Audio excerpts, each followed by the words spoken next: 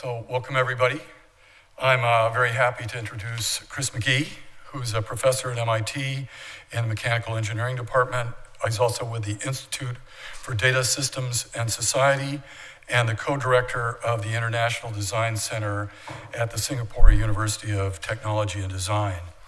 Um, you know, I'm always excited to listen to Chris because I, there's an essential question for the world of what actually drives technological progress because, you know, technolo technologies cause problems, they can also save us from things like global warming. And we need to know which technologies to bet on and what the right strategies are. And I think most of the ways we've thought about that are not right. Chris is one of the people who I do think is thinking about the problem in the right way. I think the solutions lie in different places than where people have been looking for them. Um, you know, Chris is remarkable in that he's actually done it. He was uh, had a, held a variety of positions at Ford Motors over a period of what two decades or something, three decades. uh, you know, so among other things, he was executive director uh, programs in advanced engineering with global responsibilities for all major technically deep areas involved in Ford's product development organization, and. And he's worked on a lot of things like making steel stronger so you can make cars lighter to get better mileage. He's also one of the pioneers of experimental work on high rate structural collapse aimed at vehicle crash worthiness. In other words, how, you know, crash dummies and doing experiments and simulations, developing a whole simulation environment to simulate how safe a car is. So he's literally saved lives. Um, so I think It'll be much more interesting to listen to him than me, so I'm going to turn it over to Chris. Thanks.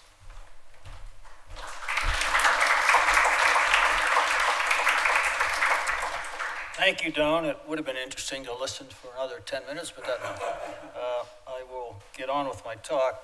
Uh, I have enough to fill 50 minutes, so we'll try not to go over that.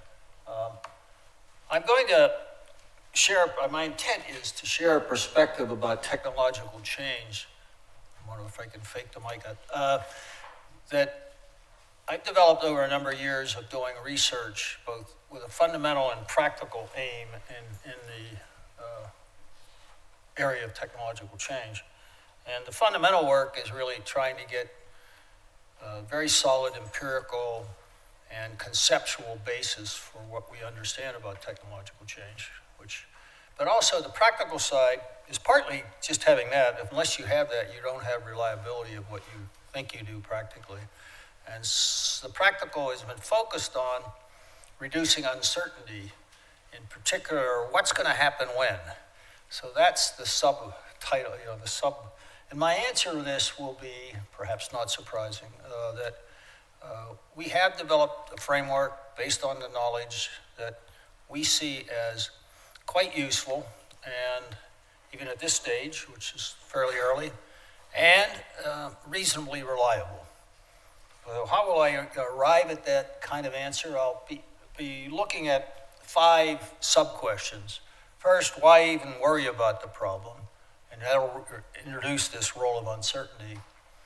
So what's known, though, fundamentally, particularly from the prospect, uh, the perspective of reducing uncertainty about what's going to happen when? And then when we have that, how can we turn that to something useful?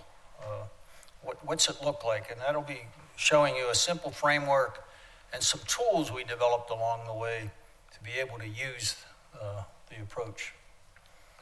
And then we'll show you some, I'll show you some cases uh, of, of, using it.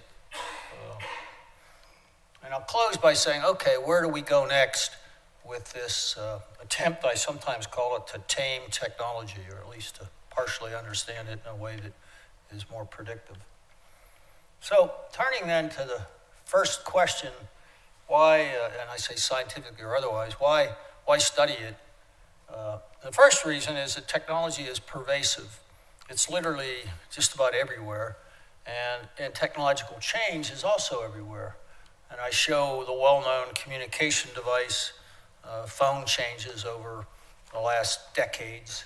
And, and I follow that with, say, something more mundane. I have these notes in my pocket, which I forgot to pull out until now. But they're written on paper, which is pretty mundane, no change. Uh, except even those kinds of areas, can have fairly large change over the last hundred years from just how you obtain the raw materials, let alone the way you process the pulp to paper, and, and uh, the difference in machinery. And if you go to a place like Finland, as I did last year, you see it's all pre-prepared for obtaining wood. What's that do for us? Well, it gives us probably an order of magnitude cheaper paper than back then, and which has some value, but some might argue that the cost may not be worth the value, but that's the kind of thing technology can do to you. Because it's one of the main drivers, the second reason for studying. Main drivers of human and non-human uh, well-being with, with clear positive as well as negative aspects. Uh, it's widely acknowledged or widely agreed that it's the main driver of economic growth. You say with all the good that gives us of life extension, more comfortable living, um, easier travel, more people, and other things that then add up to what's potentially negative in terms of some impact on the environment and some impacts of all kinds on people. For example, uh, another way you can look at the impact is look at just a few books, recent books. And the first one, uh, Jean Twenge, uh, is somebody that studies cohorts, and she's named our la- the last generation, which she's uh, dating from born after 1995, the internet generation, or iGen. And that book really documents a lot of survey work and a lot of detailed psychological work on looking at the way people in that generation differ, and particularly how they changed, how the people changed when the little screens became the dominant way we interact sometimes with each other. And there are real changes. People adapt to the technology. And it has good, again, and bad, you know, consequences. And I think the adaptation will continue. We'll continue to find ways to adapt to it as a society. But it has these backward-looking big effects. And, and there's books, a lot of books on more forward-looking, potentially big effects. One of the ones I enjoyed reading was by uh, Max Tegmark, uh, on being human in a world of artificial intelligence. Very analytic look. You could say it was a follow up on the Bostrom book from here, but he's an MIT guy, so it's, it's pretty good. Uh, and and it, it, it uh, is a, a, kind of thing you start to wonder, though, when you read it will this happen? And, and if it does, when and what really will happen? Because there's not often care in all these books about what it is they're talking about. It's a little bit uh, looser. Take a, a fairly specific, uh, and this book's a good look at what driverless cars will do to change the world. And, and, uh, and there's some discussion of what that really means in the book, uh, what, what level of driverless cars, et cetera. But it also talks about the infrastructure changes, the city changes. There are large changes, but the thing that all these books, no matter how well they're written, don't usually do is really talk about when. They talk about when, but it, it gets really slippery and, uh, and it goes from soon to decades to other kinds of things. And it's that, that, that kind of problem that is what it, the focus today. Uh, a book like this, Radical Life Extension, uh, one way to define that is when people live as long as trees.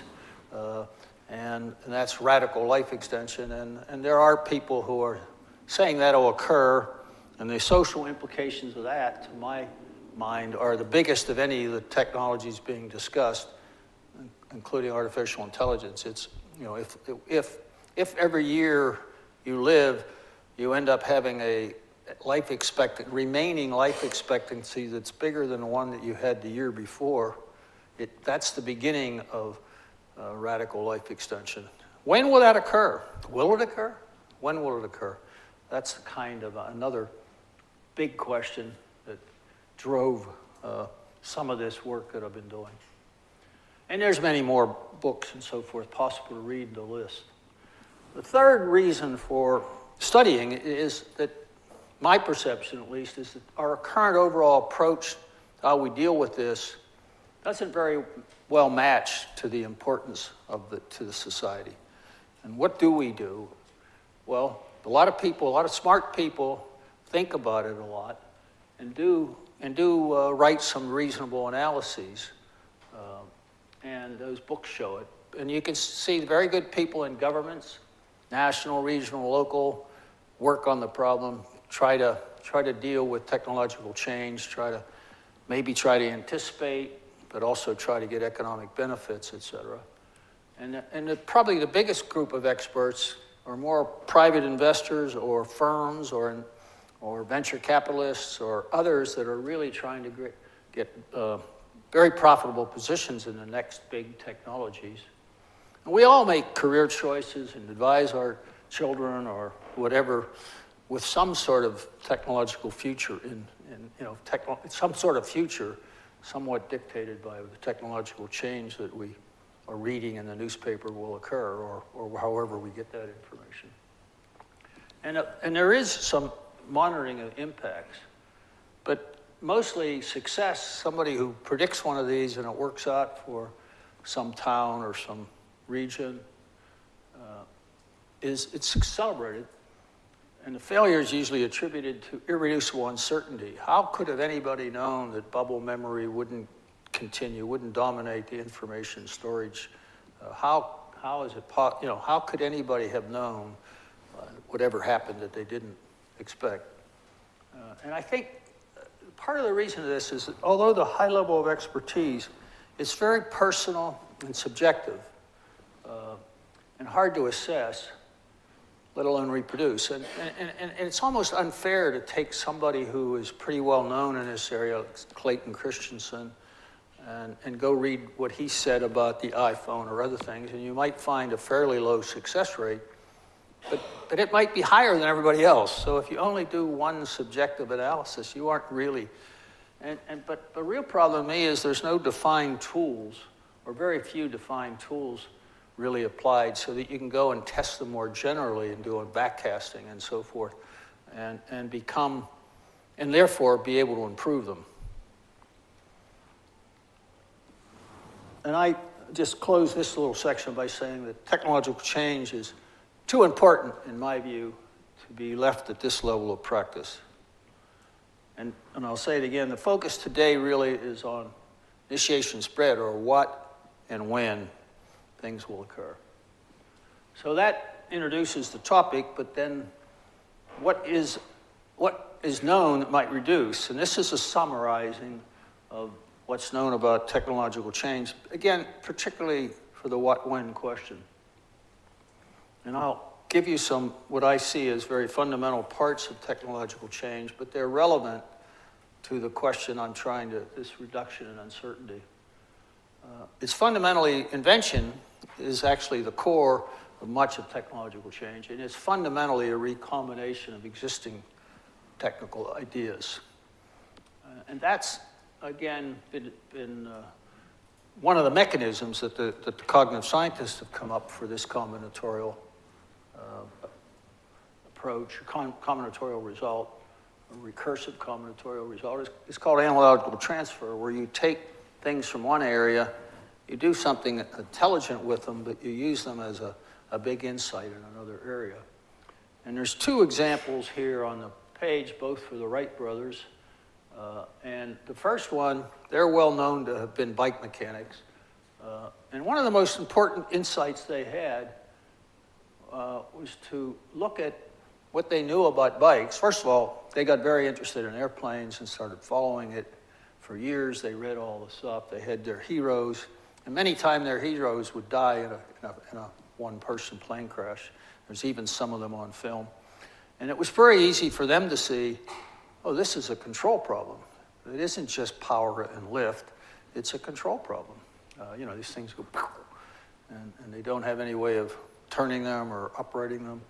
And so they saw it as a control problem, and they were the only ones that did that of all the smart people doing it. Another analogical transfer, and, and Wilbur who was the better scientist of the brothers, uh, particularly studied birds for months, watched them fly, and discovered, you know, he may not have been the only one to discover, but he discovered, you know, they roll and they turn by twisting their wings. And, and of course, that was one of the things they started to do on the airplane. And you look at their early planes, was a very important part of why they were able to control airplanes and no one else had up till that point. There's a, this is also an old idea, many books. I like Bob Weisberg, he's a cognitive scientist, and he sees this analogical transfer as very active not only in invention, but also in science and in the arts. Uh, it's quite worthwhile reading. But there's older books really just looking at the invention side. Uh, Usher and Ogburn back almost 100 years ago, who, who looked at uh, mechanical inventions or social change and saw this as a, a combinatorial process. Sometimes they talked about ideas, but more often they also talked about hardware. And you have to be careful. Uh, I, it's ideas that's really the power of the combinatorial. And by the way, my, my email is on the first slide. I know this is on video. Uh, and if anybody wants you know, more detail on some of these references or something, just send me an email. I'll, I'll respond eventually. Uh, so the second fundamental that I see is important, uh, and important to what and when, but also just important is that what's called spillover, particularly spillover of ideas, a number of other kinds of spillover, is pervasive in technological process. So this combinatorial process doesn't just combine ideas from the area you're studying, just as in the Wright brothers case, they brought something from biking, another technology, and they essentially brought, they had a number of others, but these two I showed you, the other one was really a scientific finding. You know, the way birds fly is a biology finding. So they brought uh, one from science and one from technology, the ones I showed.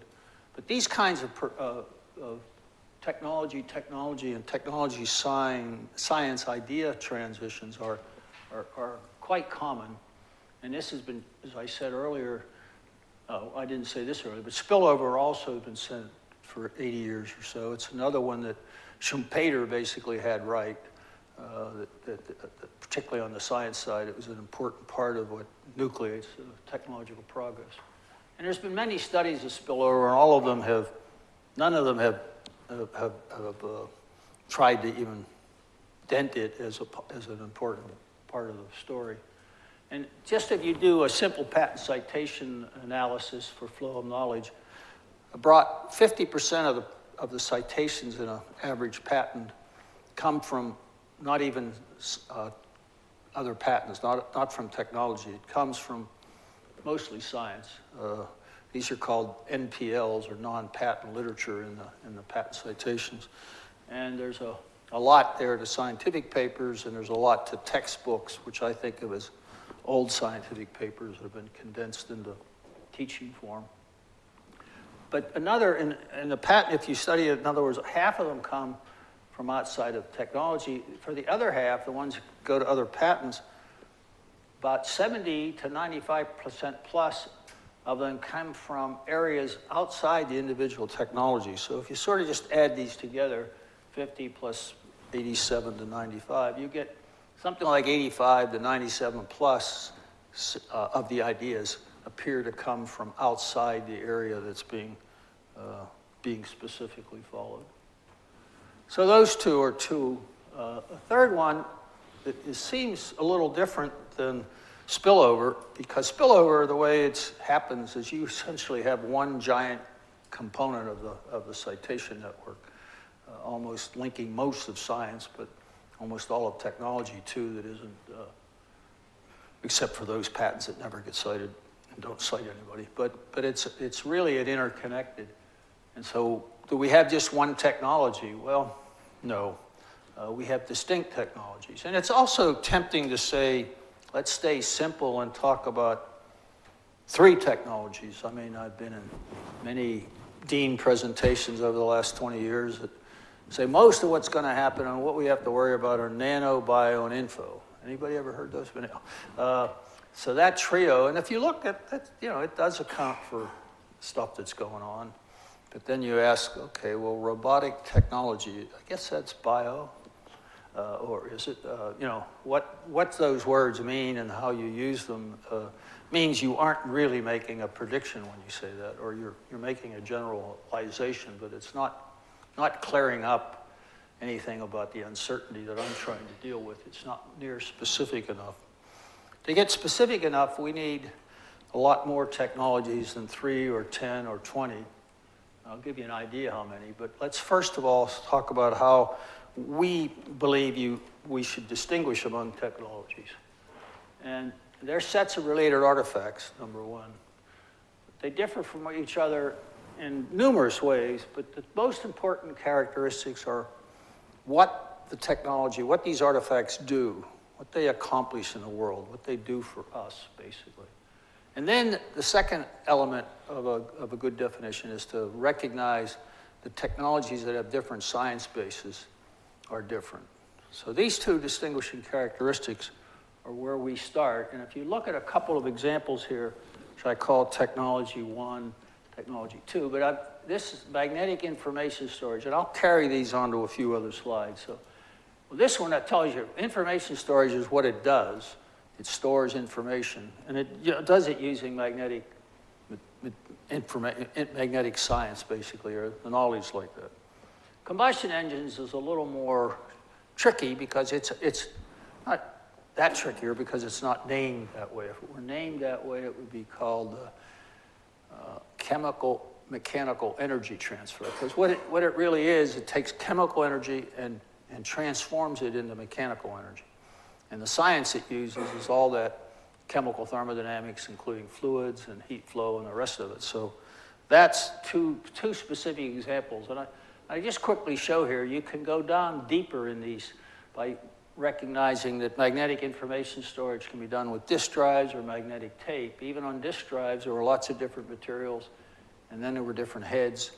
But we won't get down to that level. Uh, and it, in times, it, we do have to, but for today, I'm mostly going to stay up at this dog level, not get down to the English type chocolate or any of those other uh, biological analogs there.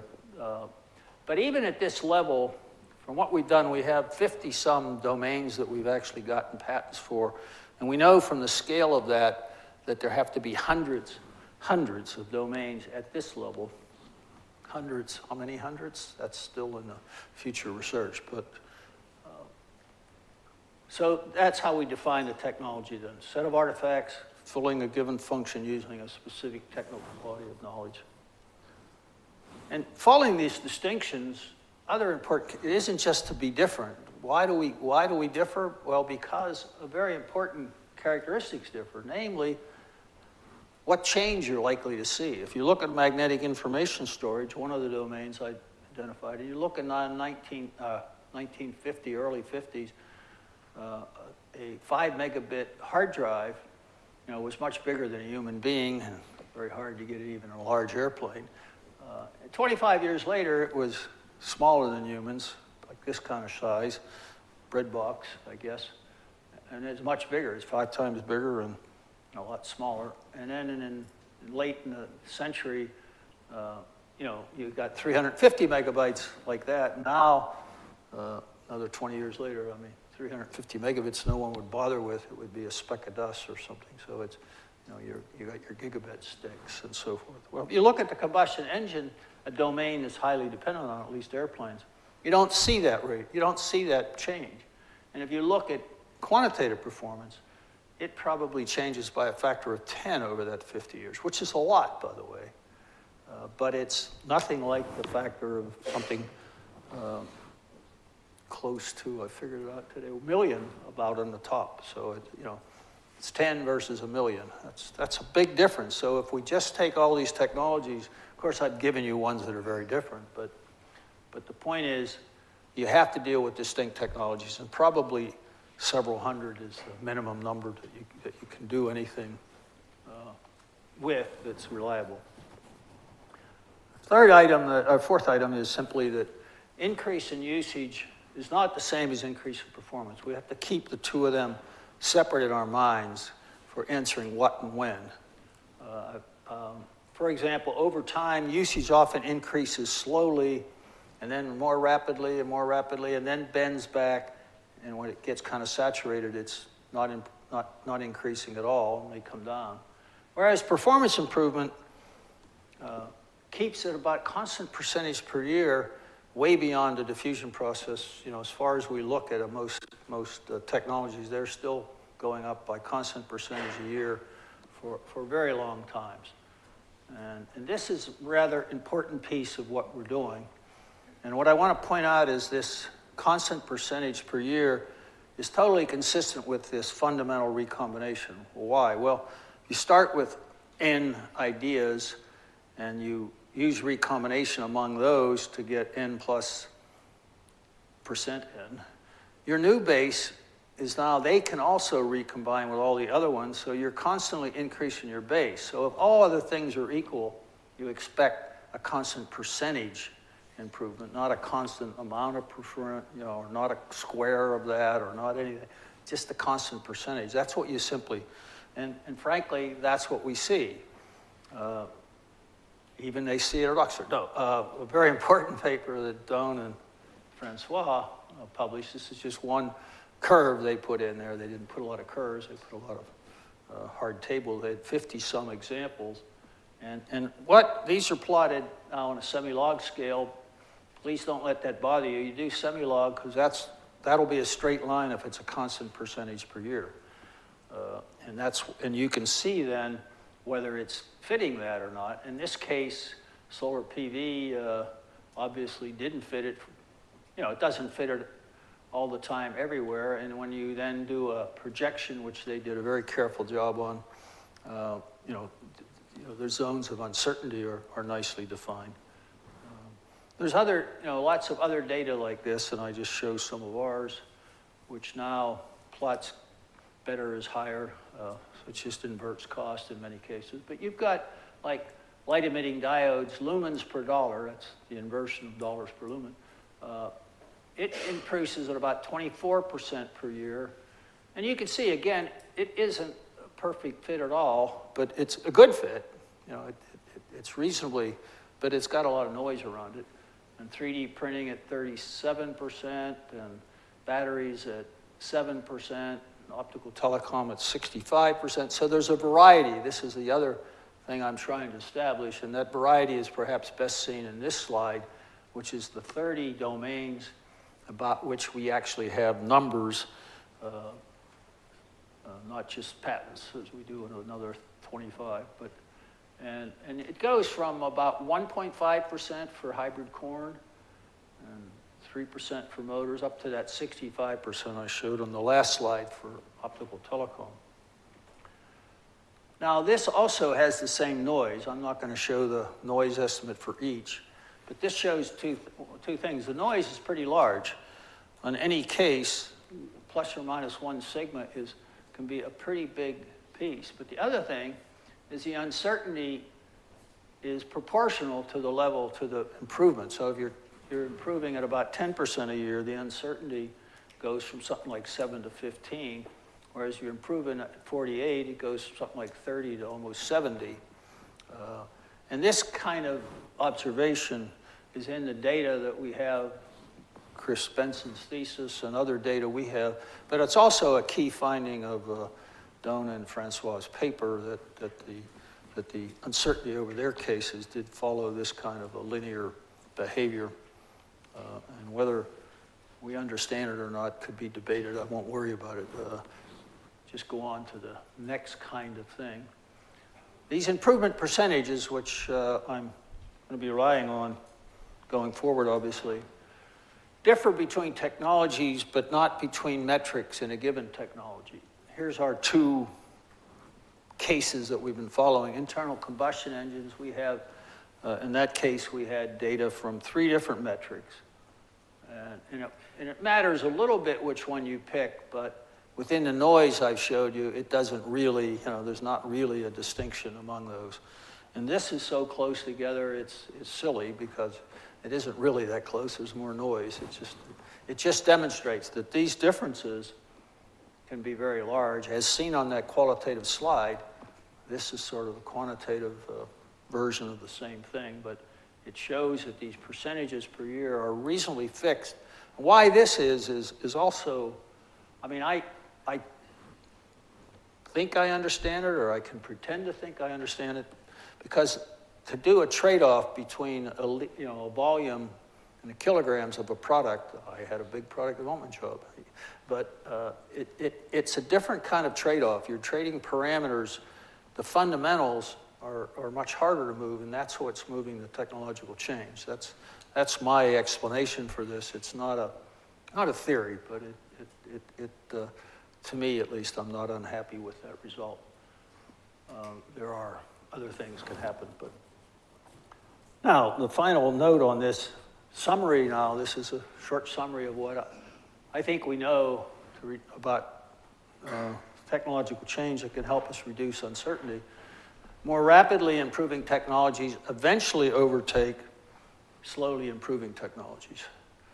And, and my feeling is how can we now put a framework together, a simple framework that uses this uh, knowledge? And the first thing is, is what we're trying to do is sort of make that eventually a harder knowledge, not just a sort of word, uh, but to put it into quantification. And, and one way to do that, at least the way we do it, uh, is to look at just what we mean by a performance crossover. That means you've got some rapidly improving technology and something slower improving, and, and if they're measured the same way, you can find a place they would cross over. And, and, uh, and at the same time, there's a, uh, these uptake curves. I said we should keep them separate, but percent adoption has a very interesting period of time. This is where all the uh, destruction, the creative destruction that uh, Schumpeter talks about happens. This is where new firms are forming, lots of alternative designs are uh, out there, lots of action in uh, in an area. Uh, out here is, you know, this is where the big money's made, but, but it's, but this is where the, the real action is and, and what you're trying to predict. And what our simple hypothesis, we call it, is that this crossover where you get about the same performance is where you should start to get significant improvement in the, in uptake, okay? It's, I'd say it's an intuitive theory, but it's, to me, reasonably clear. And this is from a paper that Chris Benson, who's up here in the front, and I wrote this year, and it's in a working paper. Some editor didn't think it was for their journal. Anyhow, they, uh, uh, we haven't decided what to do with it, but, but I can send that to people too. Uh, the, but this then is the, uh, this will allow us in to, from being able to predict crossover to predict uh, the really hot spark for uptake. So it, it, begins to say, begins to see an answer to me to what and when. Uh, but it's not trivial then. What, what, how, what do you have to do? Well, to get even the crossover, we need two things. We're at any point in time, we need to know the, essentially the current performance differential. And that, that sure sounds easy, but we've did enough cases to know that's the hard job. But we also know we need to have uh, performance improvement rates or percent improvements per annual performance, annual improvements in performance. We need to have that for a number of technologies. I said hundreds, uh, and I told you we have data for 30. So that means application wouldn't be very good. And we took on finding tools and ways to be able to get these improvement rates without uh, measurement because some of them will never be measured for a lot of reasons. And the two enablers, and they've been developed, really, I guess we started this about seven years ago, uh, fairly early in his thesis. Uh, and two were developed. First, we developed something we called the classification overlap method. That's a way we know a technology, we can go get the patents. And uh, he and I published a couple of papers on this uh, I guess the first one more than five years ago. And it, it's a work intensive but still reliable technology. It's going to take us a long time to get all the technologies by it. So, uh, second, from known measurements, we had these 30 measurements, and we then, you know, developed that method to get the patents around them, and then we tested different ways of finding estimates for the 30 we had and, went, and, and we did some robustness tests and so forth. But, uh, but we, and we had a, a, a, Chris and I published a paper also in 2015 on that, but we've gone beyond that in the group And a re- more recent paper, uh, also not published yet, under review, uh, takes these 30 domains that I talked about a few ago, and it, you know, for magnetic information storage, I guess the data points didn't show up on this. Uh, It, we predict, this is the observed rate of improvement, this is the predicted. We predict a little lower on this case than we observe, whereas in combustion engines, I think we predict a bit higher than we observe. Uh, And oh, this is the observed, yep, this is the predicted. So, but you can see that this, the 30 are, are kind of scattered around the line, and not too bad, considering the real, the real variation in the data. Uh, This is not a bad fit, Pearson coefficient near 0.8, and, you know, very low p-values when we do these things, but, uh, but that, that, is that what, that's what we'll use then going forward now, because we can now go backwards and just get the set of patents for a technology, calculate and- do just, and then we'll just have predicted, we won't have any observed. And that's what we're doing for the many cases that I'll now show, because we have now these set of tools, classification overlap and the prediction of the rates, and we have the framework with the crossover equaling the important takeoff. So we, we, we looked at a number of cases, and the first thing I'll say, there's two things to observe. One, we've only been doing these for about 18 months. Uh, the oldest of these cases is about 18 months. And we're a small group, uh, and we, we've got a fair number of cases uh, already. And, and we cover quite a wide variety of technology already, from medical technology, genome editing, pharmaceuticals, 3D printing, battery electric vehicle timing, timekeeping, bubble memory storage, electricity versus steam power. First few are historical and the other ones are forecast. So this is backcasting versus forecasting. So let me start with the most recent backcasting one, the one that Chris and I used for the working paper, where we show the technique. Uh, we used internet uh, takeover of distribution for audio and video. And this is the performance curves. These are actual measurements or reported measurements, not, a, not just a, a, an estimate or anything. These are actually reported measurements. So this graph's the same as that one. They're just plotted slightly different places because of the. And then this is the alternative technology. In this case, it was uh, mail delivery, and which was, you know, it was hardly changing. In this case, I think it was car pickup, but you can put in different alternatives and get different cur, uh, but the point is that, uh, that both of these occurred, this one should have occurred in the late nineties, and that's where we see the, the data, this is actual uptake data for audio transmission. Uh, It took off around that time, and you could put qualitative things on here like Napster Foundation, iTunes, and so forth. Uh, on video, video is a bit more, you need more, basically a higher performance out of the internet to be able to do it. And, and it's therefore about, you know, predicted to be about five years later, and it, it shows up about five years later. So, in, in very simple framework, this, this show, this gives some support to the, uh, to what, that it works. Uh, what we also learned is that um, what you're really doing when you, when you do this crossover, especially when you do the vertical displacement at some point, you're actually thinking about a new product. You're almost, you're developing a new product. You're thinking what customers want, how, what do you put in it? I think this was a single tune curve, but if you put an album, you know, things get a little different. And, and so you have to think of your product and specify it, which means the greatest uncertainty, when we did an uncertainty analysis as part of this, the greatest uncertainty was uh, that. Uh, but but you know, we can get, we got pretty good at it, and I think, uh, uh, yeah, it's not going to be perfect because you might have the wrong uh, product in mind.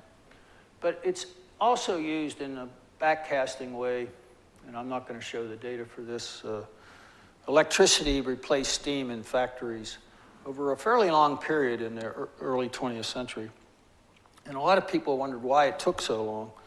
But we have good data that shows that the rate of improvement of electrical distribution was like 10.5% a year, and the rate of improvement of mechanical is like a half percent. So 10% a year difference means that over 30 years, you get, uh, let's see, seven-year doubling, about 15 to 20 times uh, difference over that period. So you could have some factories, and, and electrical distribution, in, in some ways, could simplify things.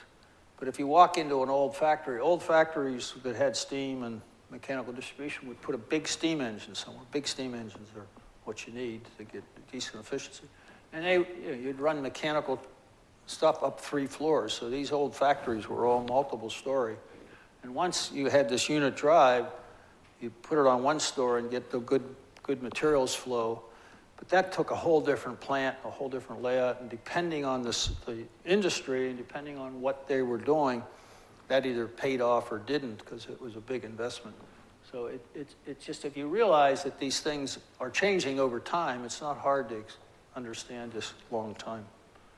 Uh, bubble memory is a different kind of case that I particularly remember my friend from graduate school was working, and he, you know, bubble memory. I said, "That's what the, what the heck's that?" You know, and it was pretty interesting technology that was, in his view, and many others at the time, was going to take over all memory because it could serve as core and peripheral memory, had no moving parts, uh, and it's, it got some applications in the 80s, and then disappeared along with everybody that was working in it in research. You know, they went to new things. And, and why, if you, at least the way I read it, I, I have a prediction if we went in and did this uh, calculation, we would find a fairly low rate of improvement for that relative to uh, integrated uh, transistor memory or, or magnetic memory or optical memory. And that's, if you read Wikipedia, and it says, well, it didn't anticipate the big increases in the memory just didn't anticipate. They were already on that rate if you look at the data. It Could have been anticipated, in my view,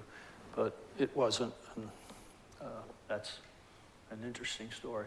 Timekeeping is another looking back, and I, and I show this because it's really a series of, uh, over long times, a series of technologies really replacing each other with new science bases, but, but uh, one function, that is keeping time accurately.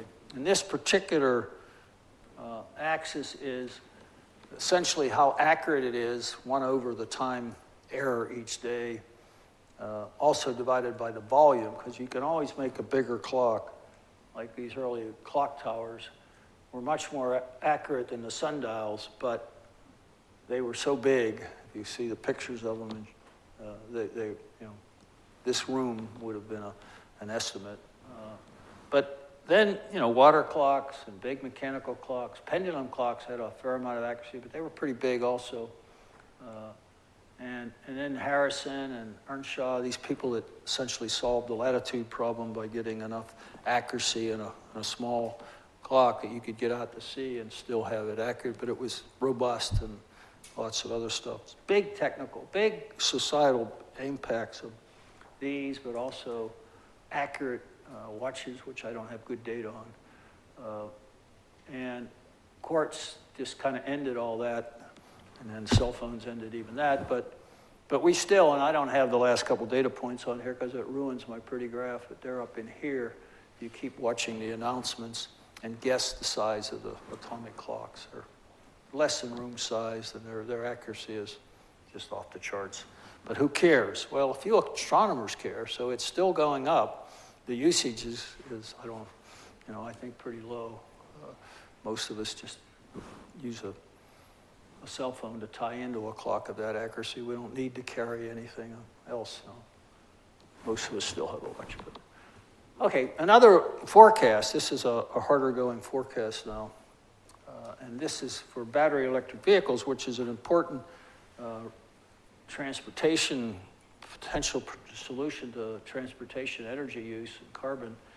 Uh, and, and, and, what we do differently than anybody else, uh, we do a, a, value index which compares uh, essentially battery-powered cars and electric cars with the key variable differences. Not most of the car will be the same with the two, but, but electric motors, uh, batteries, etc. And the difference is, the good news is that battery electric vehicles are improving more rapidly than uh, combustion uh, engine vehicles.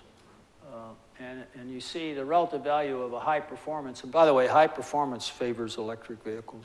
They have very good low end torque, and they're- they go fast uh, for the same cost. The problem is the battery cost is still quite a bit low, but by 2035, 2050 for sure, uh, they will, they will be superior to a co- comparable luxury, high-performance vehicle. Bad news is that uh, for a low-cost vehicle, low, not, where performance is not as, as valuable to you, uh, and also cost matters a lot more.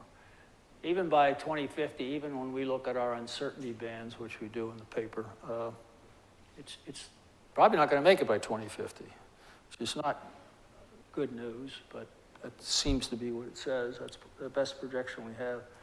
The other possibly good news is that by that point, by around 2035, something I've been saying for a number of years, and I live long enough, you'll get to test it, it capacitors will be a better energy storage mechanism than batteries. And, and by that point, in other words, capacitor electric vehicles have a better chance by 2050 making it.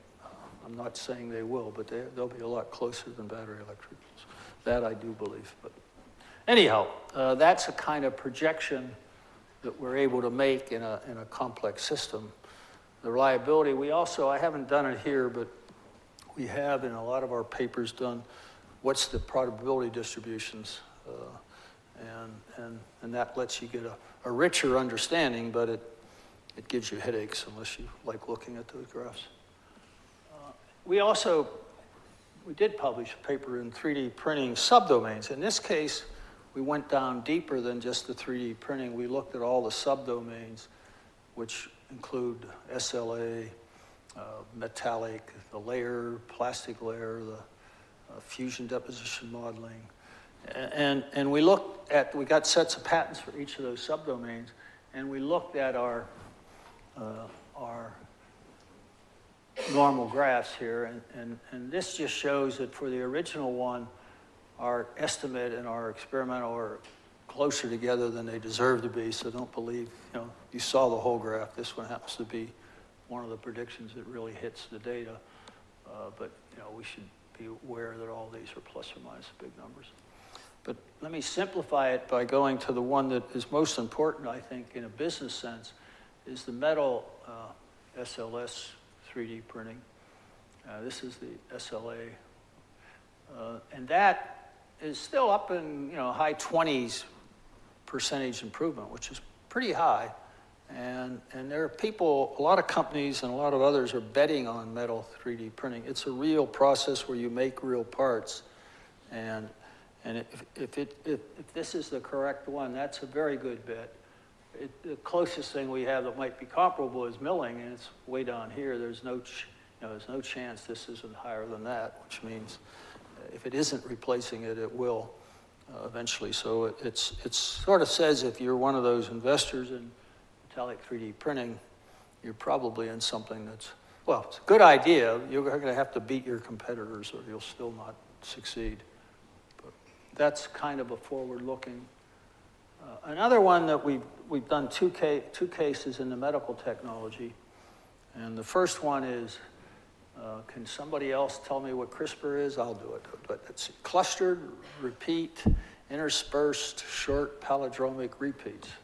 Came out of uh, bacteria uh, for about 20 years of good fundamental work going on, wondering what these things were, and then figuring out they, they were gene modifiers and, and, and somebody then said, well, we can bring it over into genome editing, plants, animals, humans, and it will be much more flexible, accurate.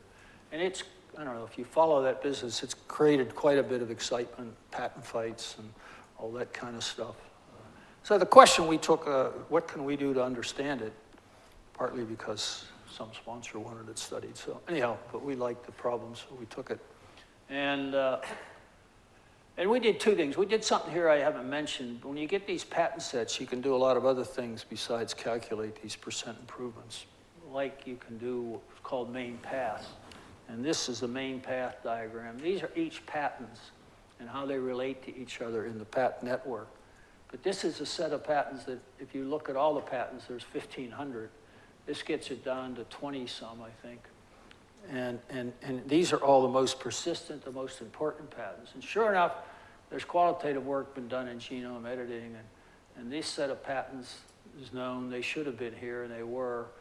It's called uh, zinc finger nucleases, and this stuff is also well known. And these uh, are TALEN, which is another, don't want to get into especially, but the point is, you and these can see both who has the patents and what are the really important patents in the, in the citation network.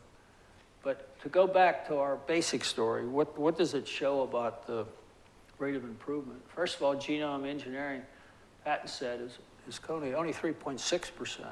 We don't have a good estimate for CRISPR yet. It might be as high as 9.5. We don't really know. This technique we used is not validated, but it's a, a way to try to get something. But in, in any case, what we conclude in this paper, but first of all, it doesn't say CRISPR isn't important, but it says if you're going to get a genome engineering solution, uh, if you think it's going to come in cancer before the end of this decade or something, I, I, I would slow up my, my expectations and say it's going to take, it's going to be stuff happening, going a lot happening in this area for quite a while, and, and yes, it, it, it, could well pay off, uh, and, but, but there may be more excitement than short-term results are expected. That's my own uh, way of summarizing that. One, one more case, uh, electroceuticals are also known as bioelectronics. I would love to call them biostimulation, but the, but the bacteria people have, a, have used that term to mean something else. So what is it? It's stimulation of neural circuits Uh, and doing this by, by, by essentially electrical or magnetic or other energy sources. And it's got growing applications. There's devices going in the vagus nerve, which is the big nerve connecting the brain to the rest of the body. It's called vagus nerve stimulation. And it's being, it is the treatment now for epilepsy. It seems to be getting to be bigger and bigger in treating depression. And it seems to be getting emerging uh, activity in arthritis and many others. Brain stimulation, which is an external stimulation, seems to be, there's people talking about it and doing a lot of work with it in Parkinson's. But the biggest, earliest and biggest success is, you know, 40 years old, or artificial cardiac pacemakers, which, you know, because of sinus node, no longer is able to conduct sodium properly to shoot the, get the heart to beat. It, it sends a, it sends something in there and makes the heart beat. So, um, and other thing is, it's, a very growing R&D investment. The National Institute of Health in the U.S. has two years ago put 200 some million dollars to kind of try to do a pathway study for what is the neural circuit and where might you try to stimulate for different organs and so forth. And, and uh, GlaxoSmithKline, I guess the big pharmaceutical company here in the UK, has done a, a lot of, uh, at least publicity. They spent $55 million and they, they, they, they put, ran contests and they've done stuff with universities they seem to be very interested in it. Uh, if there's any GSK people here, I may hear, but, uh, but, but that, but the question, I guess, is, where, what are the rate estimates for these versus maybe, and I we use pharmaceutical technologies because we had some pharmaceutical patents we could go and get uh, improvement rates from it. And, and, and uh, is there much difference? And if there is, isn't, uh, maybe that investment but if there is, the investment certainly looks like it's a good idea. So what did we get? Okay, this is what you close with, a very striking result. Um, you know, for all the different stimulation methods, these were different, uh, we, different domains, different sets of patents with very little overlap between the patents.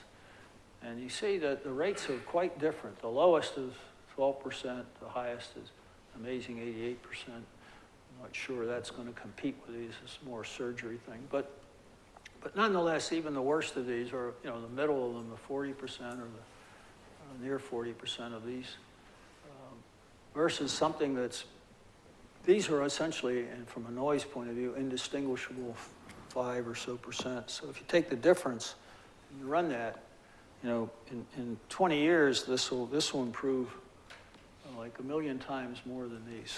Uh, So if they're close today, uh, it would say this should be a good bet. So if, if GlaxoSmithKline is not just lost patients because they haven't found anything, or any other company that's doing it, uh, it might be a bad time to lose patients in that, that kind of technology. All right, let me just wrap up by what will what should happen next. First of all, I've talked as if mostly everything exists and we just look at crossovers. Turns out that probably accounts for 80% of the creative destruction. When you look at these, even these biostimulation or areas, uh, they started 15, 20 years ago. That's, you know, there's a, more than that in some of them. Uh, and, and, and if they when they become important, it could be 40 years after they started that you can know about them. But it's not everything. You'd like to know when something new emerges, even if it's not going to be that useful at first. And can we do anything about that? We've done a study now because we have some patent sets, and these stars are at the first 20 patents in this in MRI, genome sequencing, 3D printing, uh, optical transport, optical information storage. The, the point is, this is also a, a probabilistic measure of how close to science. The, the average patent is way down here with its relation to science. Uh, so all these domains are a little higher in their domain related to science, but, but particularly these seeds seem to be particularly important infusions of science. So what our, what our thinking now is we're, going to be able to predict new domain emergence, but to do that we may have to go back and look at the, the uh, publication citation network and see what's going on leading perhaps to these patent, these publications that get cited. We have, I have a lot of hope for that work. We're also doing, as uh, Doyne's group is, uh, application of machine learning and natural language processing to this technology and patent linkage. I've told you that we want to get hundreds of domains. It take us a long time, and we really want to improve on the COM in a lot of ways. So this is very important to us. Uh, I think it's going to work, whether we'll be the ones to do it or whether it'll be other groups, doesn't matter. I, I think it's very important uh, uh, work to be done. And we also uh, have some work that links technology and domain improvement directly to total factor productivity, which begins to link into economics. And in my discussions here over the last few weeks, I have been here for more than three weeks now, it's been great. But the discussions, this, I have a much broader view of how to get into this now by connecting into some of the work going on in, uh, at, at INET. And, uh, and so I'm, I'm, uh, I have, but both of these things could end up linking to here. Uh, Also, what's possible for a larger scale practical application? And, and before, and, and as I turn to that, I also will then, how, how might the work progress beyond this what and when? In other words, if it happens, what's that going to mean to society? That's the next uh, when, uh, next, next question. So possible larger scale practical applications. Uh, Matt Ives and I are discussing, and we're going to have another discussion Friday about trying to do uh, some analysis in the post-carbon world. How do we get there?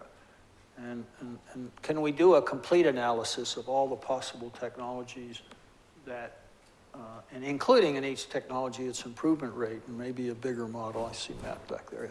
Um, we'll see where we get on this, but it's one of the things that I'm excited about trying to do. And I also think we can go further in environmental technology in the post-carbon world. I think the whole planetary boundaries kind of work that's gone on is a much bigger systematic approach to looking at the climate effects, species reduction, ocean nitrogen, et cetera.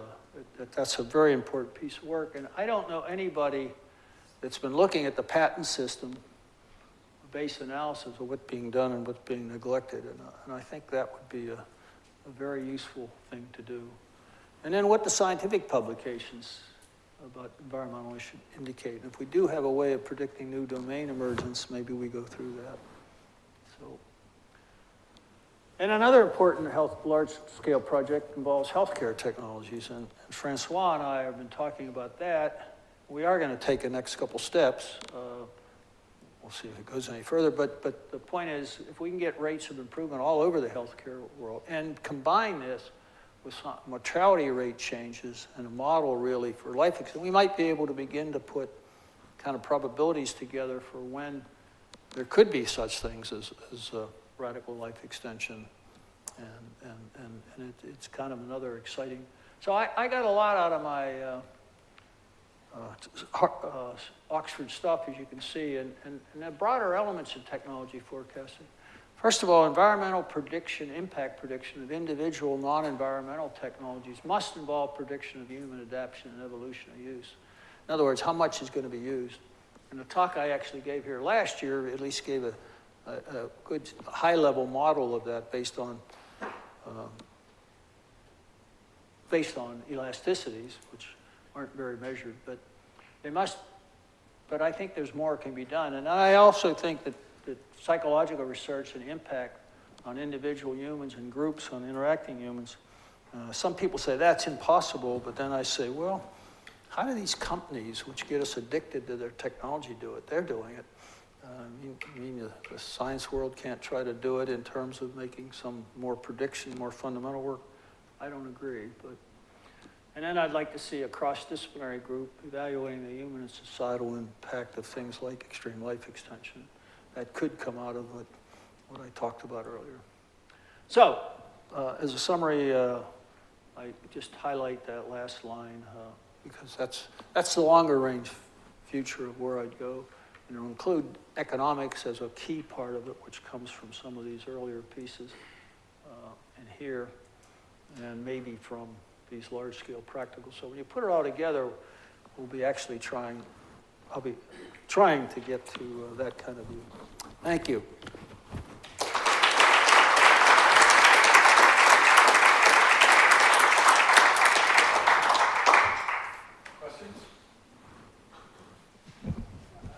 Hang on, sir. This is on film, so you have to. Hi, hello. Uh, uh, well, you use the, the rate of change of performance as a key metric, and then when you talked about uh, battery electric vehicles, etc., you combined it with other things as well, right? Right. But there might be other complicating factors as well, isn't it? I mean, for example, the environmental impacts. Uh, Take battery electric vehicles, for instance. Right. I mean, if uh, the electricity generation and the power, Right. you know, is not clean and green, as the numbers increase, those problems will very, become very big. And so that uh, would also determine how fast the, No, I- and, and what you're pointing to is what I think of as a systems analysis. And I, and, and again, Matt and I are going to be discussing these kinds of things, but, you know, battery electric vehicles won't by itself unless you get uh, the electrical system carbon-free, then battery, in fact, there are places that putting cars onto batteries is actually negative for carbon, uh, as you know better than me, but, but, but, but, so you can't do it just by pieces. So we'll need a, a systems analysis of it as well as a, uh, what I pointed here is how to do some of the elements, but the systems, that's sort of what I like to do anyhow. But, but, uh, but I think you're right. Uh, you can't just sort of take these out one at a time. And that's the same, I, I should say, even with something as striking as the electroceutical result. You know, it could be that electroceuticals and pharmaceuticals work together in some complementary way, which would change the kind of words I said here, uh, which kept it simple. Uh, because you, you do have, it's a more complicated system for any of them, and medical will be one of the, uh, you know, how far we'll be able to get and our efforts will be limited somewhat by being able to see all those functional interactions. Uh, by the way, I, that third one, or second one there, machine learning, I mean, I have high hopes that we'll be able to pull more and more of the functional interactions and so forth, but, but I'm, I'm having enough reality here to say, I'm not sure how far I'll get in any of it, but, but that, that could be, longer term again, it could be a, a a possible answer to. But I, but I, I should also say that I don't see these techniques that I've talked about replacing good thinking, okay? It's, it's, it's, a- it's a supplement. It puts some quantitative pieces in place that I think are helpful. But if I were a CEO of pharmaceutical company, I wouldn't just make my mind up on the numbers here. Uh, But, but I might want to know these numbers.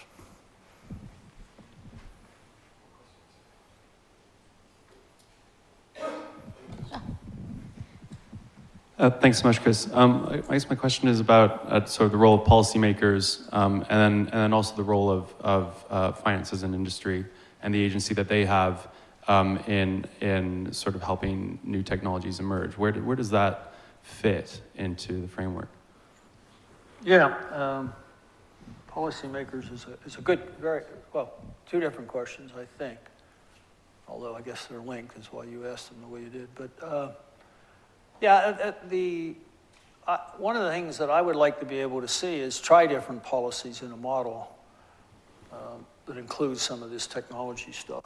Um, And my, my guesstimate, though, is we would, you know, we would, we would come back to what economists have said, even with simpler models, a carbon tax for carbon, taxes on what is bad. I said that in my talk last year, and I'll repeat it, but tax what's not really good for us is a, as a planet, as a people, and, and, and tax it enough. Yeah, then there's distribution problems. Well, you know, we, we ought to deal with the distribution problems anyhow, that, that worrying about not solving environmental problems because we think will hurt the lower, you can fix that problem. You can have, you know, non-distributive effects out of it. Uh, So I, I think that's the policy question. Now, the financial question, I think they follow the, where the money is. So if you don't have the right incentives, they're going to go to the wrong place, in my view. And that's, that's nothing surprising, right? Uh, So you need the right incentives. And to me, the right incentives is tax the worst stuff. Um, Yeah, there's other things you can, and the other thing you should do, I mean, we do it already, but right now in the crazy US, we're thinking about not doing it, but, you know, you got to support the R and D. Uh, Research and the fundamental research is extremely important globally.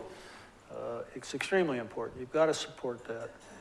And I guess R and D uh, uh, write-offs on taxes is, is probably makes sense uh, for companies. Uh, You know, so tho- those are where I am on a policy basis. This, that almost sounds hands-off compared to most people, but, but my view is that's probably the best answer for us.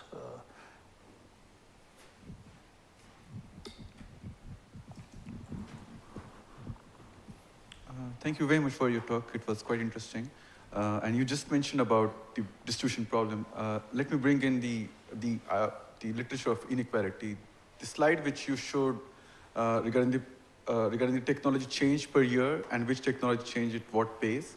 Uh, is there anything, any relationship that the technology which matters to most, for instance, electric motor, electric motor would matter to large number of population who are in farming or agriculture sector?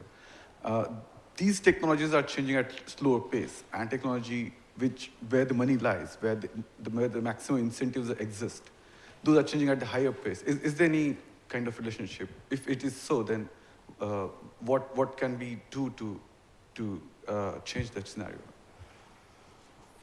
Yeah, I, um, I only half got your question. That's partly because I was trying to think of an answer. And, uh, and, and uh, it, it, I think, let me, let me try to rephrase the question first. And that, that is, that I think you were uh, wondering if some of these differences in, in rates of improvement could cause inequality.